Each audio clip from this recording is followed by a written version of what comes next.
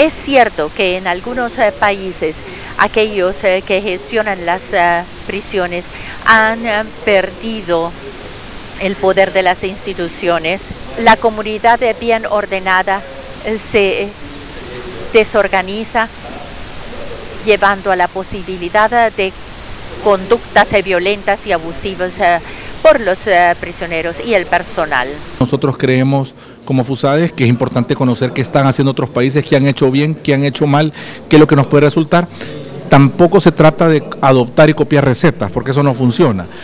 En esto lo, importante es el hecho de determinar, de, de concluir, ¿verdad? que los sistemas penitenciarios del área, de la región centroamericana necesitan una reestructuración profunda y urgente.